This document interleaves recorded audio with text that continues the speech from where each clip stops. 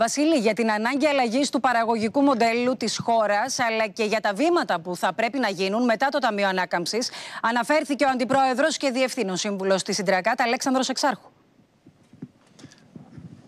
Ακριβώς, Ιωάννα. Τι είπε ο κύριος Εξάρχου, πως μέχρι σήμερα το ΑΕΠ της χώρας ε, αναπτύσσεται κυρίως χάρη στον τουρισμό και στην κατανάλωση. Αυτό λοιπόν που πρέπει να αλλάξει είναι να, να γίνει η χώρα πιο παραγωγική. Μάλιστα, είπε να οπλιστούμε με ενότητα προκειμένου να δημιουργήσουμε ένα μοντέλο παραγωγικό, να στηρίξουμε την οικονομία στη βάση της δηλαδή. Ενώ το δεύτερο θέμα που έβαλε είναι το τι θα γίνει με την ελληνική οικονομία όταν θα τελειώσουν οι πόροι του Ταμείου Ανάκαμψης που προφανώς αυτή την περίοδο τροφοδοτούν την ελληνική οικονομία με δεκάδες δισεκατομμύρια ευρώ. Εκεί είναι το μεγάλο στίχημα, είπε ο κ. Εξάρχου, τι θα γίνει μετά από αυτή την περίοδο, Ιωάννα; Σε ευχαριστώ πολύ, Βασίλη, και ας ακούσουμε τον κύριο Εξάρχου.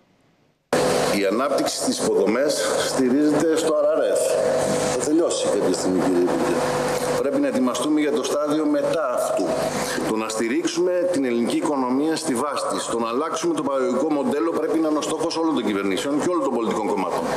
Και επ' αυτού θεωρώ ότι δεν είμαστε καλά. Θα πρέπει να θυμόμαστε τα τελευταία δέκα χρόνια. Να μας γίνουν μάθημα σε όλους. Και στους πολίτες και στους κυβερνώντες. Αυτό που έχει επιτευχθεί είναι ότι έχει διασωθεί η ελληνική οικονομία είναι κάτι σαν τη Δουκέρκη το 1940 που είπε ο Τσόρτσιλ ότι δεν πρέπει να δίνουμε σε μια διάσωση τα στοιχεία νίκης δεν γίναμε Ελβετία, δεν γίναμε Σουηδία, απλά σωθήκαμε. Θαύμα που σωθήκαμε. Απόλυτο